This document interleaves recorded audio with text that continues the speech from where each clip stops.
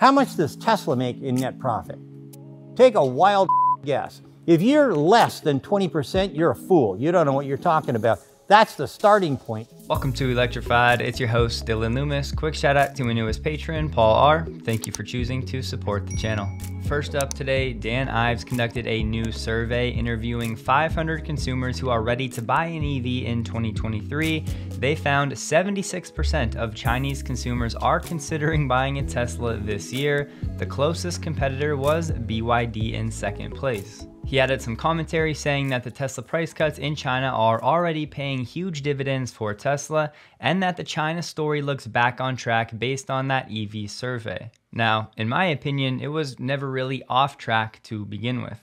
So, in summary, from Dan Ives, who's been a bit more negative on Tesla over the past few weeks, is saying that these price cuts have been a home run success out of the gates. More importantly, though, the Wall Street estimates for Tesla's 2023 earnings expectations, the bar has been lowered. Now it sits at $4.80, down from $5.50 late last year. So, plugging that Wall Street estimate in, given Tesla's current stock price as of recording right now, that would give Tesla a forward price to earnings ratio of about 27. And from a GAAP perspective, if you add up Q1 through Q3, so far Tesla is at $2.55 per share. So if you just throw in $1.20 for Q4, that would give us a current PE for 2022 of about 35. Look, I've been saying now for months that I think 2023 could be a very challenging year with interest rates higher and families being a lot more conservative, not knowing what's going to happen with jobs and the future economy. However, if Tesla's EPS for 2022 does end up in the $3.75 range, this right here would imply a 28% earnings growth for 2023, which we know that Tesla can absolutely surpass. Especially as Tesla's market share continues to grow with the price cuts, more people buy FS and subscribe to it. And of course, the Lathrop facility is probably the biggest question that I have about Tesla, and we'll get a lot more information over the next six months we already know the demand is there for the next two years. So really the only question is, can they get enough semiconductors for the megapacks and how fast can they make them? And of course, what will the margins be? But in the back half of this year, that could be the time where we finally start to see Tesla Energy really adding meaningful contributions to Tesla's bottom line and EPS numbers. Jeff on Twitter has been doing some really good work and I wanna highlight another one of the charts that he shared. This is simple, it's just showing us the total likes on tweets by Tesla in this blue line that has seen a very big spike starting toward the end of November last year compared to the likes for other automakers that are these gray lines that are essentially forming the x-axis of this chart. And no, it's not just that Tesla has had a few viral tweets. If you look at the tweet volume by month, as you can see, starting in December, the volume has absolutely ramped up. This really matters because it's almost a free way for Tesla to seriously increase its reach on social media, and they're doing it by actually putting out some educational content, which we all know the public really needs. If you stick around to the end of today's video, you'll see exactly what I'm talking about. From Reuters, Tesla earned $15,600 in gross profit per vehicle in the third quarter of last year, twice as much as VW, four times as much as Toyota, and five times more than Ford. A lot of people have been sharing this chart that shows us gross profit per vehicle and the difference between Q4 of 2020 and the improvements made up to Q3 of 2022. So Tesla clearly leading the way with that figure we just mentioned. And BYD in second at 14.9 thousand. Remember though, this is gross profit per vehicle, so usually this is basically just revenue minus cost of goods sold. But then look at the story when we take a look at net profit per vehicle, which is usually just then removing all of the fixed costs, whether it's rent for the factory or utilities, things of that nature. Tesla coming in at $9.5 thousand in net profit per vehicle. The closest on this list would be VW at about 3000 per vehicle. Not only that, but look at the improvement Tesla made over just the last 2 years going from about 1.5 thousand to 9.5 thousand. It's really simple. Tesla is just in a league of its own, and one day, eventually, more people will understand that. We got some new comments from a Tencent executive, and if you didn't know, back in 2018, Tencent invested about a 5% stake in Tesla that was worth about $1.8 billion. And it was at that time when Tesla's future was not nearly as sure as it is today. He said Tesla will keep blowing our minds with technology even while Elon may be distracted with Twitter. And always an important point to remember, and something that I do really believe, even though it may not sound like it in every single video, there will be several competitors, but that will be really good for the planet. The narrative really should not be EV versus EV, but it needs to be EVs versus ICE. Munro Live put out a new video today where Sandy went on a bit of a rant and he was talking about Tesla's margins, and it was definitely very entertaining. Want to cover a few things. I think most of us here know and would agree that Munro really is probably the best company on the planet when it comes to determining the actual input costs for these vehicles because they break it down by every single component and actually price it out, and that's how they sell their reports for so much money. So, strictly when it comes to the price of Tesla's vehicle and the actual cost for all of the components that goes into making the vehicle,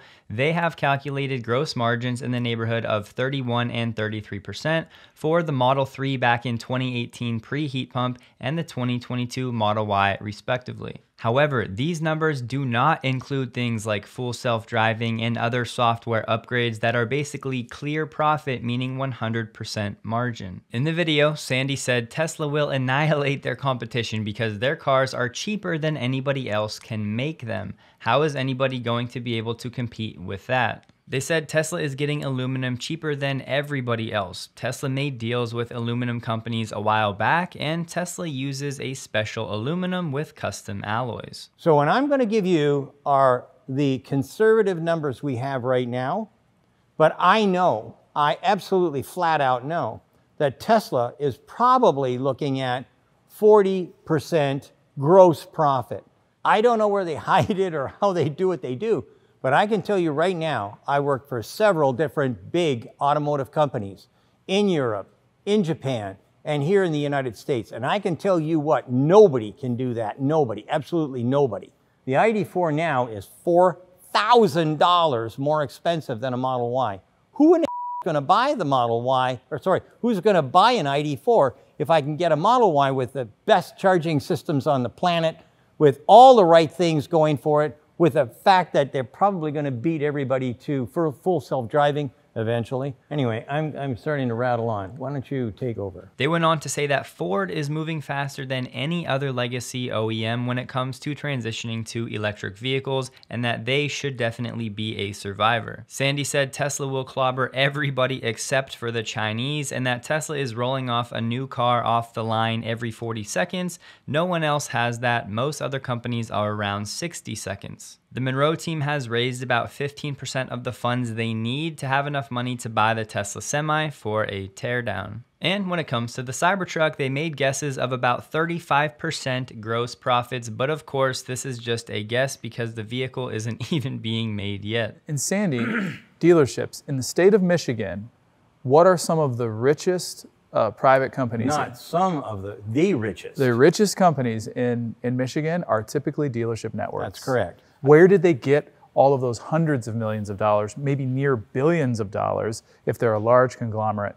It's from pulling that that cash right. off of the price of the vehicle right. for the last 30, 40, 50, 60 years. Exactly. So, of course, the full video will be linked below. Greg on Twitter did some nice due diligence and saw that the Cybertruck casting molds may be arriving in Giga Austin over the next few days. These from a company ZDM. And here's just a quick zoom in. The importer, Tesla Texas Gigafactory, and some of these molds may have already arrived. Greg also shared this screenshot showing some of the gross weights for these molds.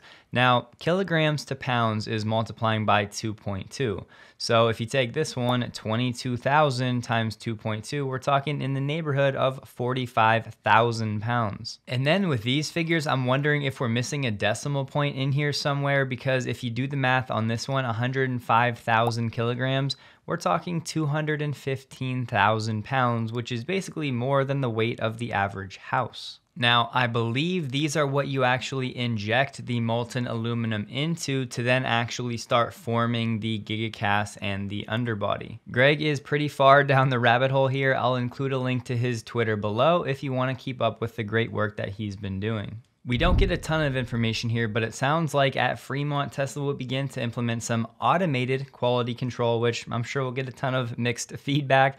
But a new permit submitted says they're ready to install two new robots to inspect fascia quality. Fascia just refers to the vehicle dashboard, meaning this could be for interior quality control, and it's just an automatic inspection system. In what could be related to that, Tesla has a job posting for a quality inspection engineer in San Diego, California for the vision automation team looking for an engineer to expand the capabilities of our automated defect detection systems. This vision automation team is working on the sexy models, Cybertruck, cell production, robotaxis, Optimus, and new factories. A Reddit user shared a screenshot that there may be some 4680 Model Ys back in stock. This was for local delivery in San Diego. I checked about four different zip codes myself and there were none available in those. So may be worth a look if you're looking. Here's an interesting one GM investing about $1 billion, and most of it is going to go for V8 engine production. And it feels like a little toss in more for marketing, but they are saying some of the money will be for EV components too. They said their commitment is still to an all electric future, but we know that has a horizon, and between here and there, there are a lot of internal combustion engine customers we don't want to lose. A majority of the investment, $579 million, will go toward V8 gas engines. This right here is the main problem for legacy OEMs. They have to do this tightrope walk of catering to their current customers and their highest profit vehicles and shifting over to EVs where they're losing money. These big engine performance vehicles like Cadillac and Chevy are the most profitable vehicles for GM. Not an inspiring quote here for EV fans. They said, Is electric going to come tomorrow? Is it 10 years away? You still need the internal combustion until the technology is perfected for the EVs. Problem is, the technology is never going to be perfected. Just look at Tesla. They're always continuing to iterate and make changes. And the technology is clearly good enough to make really good EVs that people want to buy. It's just most companies haven't cracked the code yet. So, a lot of people complaining about Elon spending time at Twitter, but you have these legacy OEMs who literally have their entire business model split in two between electric vehicle powertrains and ICE. How do you think that's to work out? This article from Reuters had nothing new to offer us other than this blurb from Cathie Wood, who said, We are as bullish about Tesla as we have ever been. Ditto. And I'll send you guys off into the weekend with some clips from Tesla's most recent educational video, the type of content I've been wanting to see from Tesla for a long time. Hope you guys have a wonderful and a safe weekend. Please like the video if you did, and a huge thank you to all of my Patreon supporters. The easiest way to think about a heat pump is like an air conditioner in reverse. An air conditioning system takes heat out of your house and pumps it to the outside environment, which is hotter a heat pump harvesting heat when it's cold outside and pushing it into the cabin of the car. You know, the basis of it is just around like using the energy you have to make the vehicle more efficient. So heat pumps are not a new concept, but a lot of times when someone implements a heat pump system, they do that by adding a lot of components. And we wanted to implement the benefits of a heat pump system, but at the same time reduce the complexity. So the idea we came up with, we're calling it the super manifold. Um, and it's basically a two-layer PCB assembly. This uh, section in the front is all of the refrigerant channels that would normally be separate components and separate tubes all connecting things together. We did a similar thing with the coolant components. So we have a, a, layer in the back that's all of the coolant channels all plumbed together. This would normally be 15, 20 separate components in a car and we've made it into one assembly that's all together.